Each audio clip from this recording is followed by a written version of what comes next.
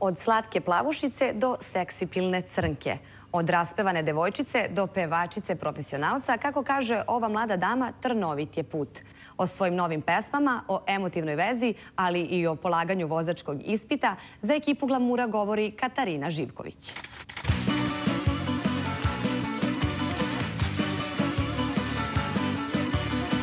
Početku se najviše pričalo o njenom glasu. Nakon toga se pričalo o njenom ljubavnom životu, a ovih dana Katarina Živković dospela je u žižu javnosti što zbog novog spota, što zbog fotografije u jednom magazinu na kojima pozira u donjem vešu.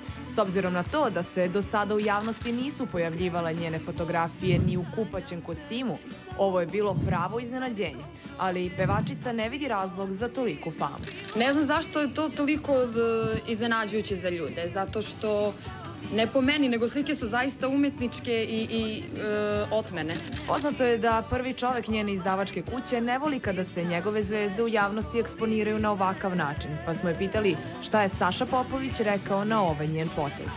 Pozvala sam ga i on je rekao naravno to je sasvim okej s obzirom da zna o čemu se radi Sale je pristao i to je meni bilo dovoljno. Mnogi muškarci bi bili ljubomorni da im devojka u ovakvom izdanju osvane na naslovnici. Međutim, njena jača polovina ima potpuno drugačiji stav. Ban je bio taj koji je, koji je ovaj, hteo da se ja slikam za Maksim. Svi se slažu da pevačica izgleda bolje nego ikad, ali Katarina je i dalje stroga prema sebi. Mislim da uvek može bolje, kao i svaka žena.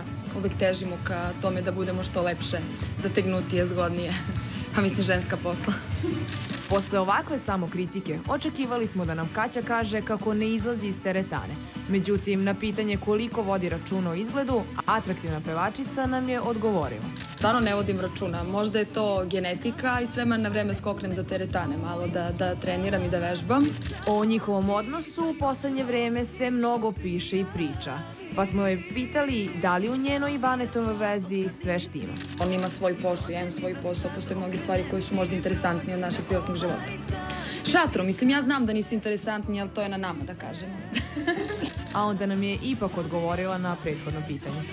Sve štima, samo što e, sada zaista radim na svojoj karijeri, snimam nove pesme, spotove i tako dalje. Ima toliko e, puno stvari o kojima želim da pričam, a da nisu vezane za moj privatni život. Zato smo Bani i ja odlučili da da toliko ne pričamo o našem životu.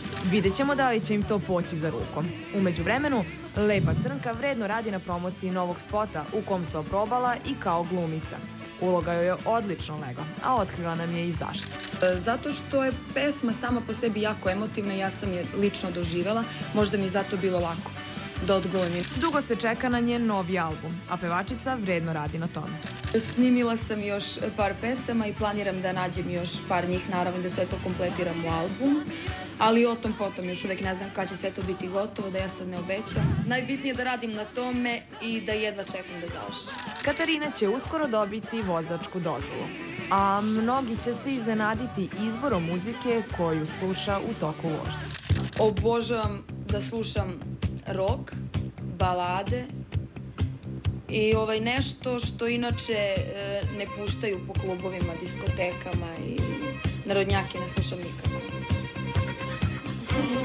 Mislim u kolima. da.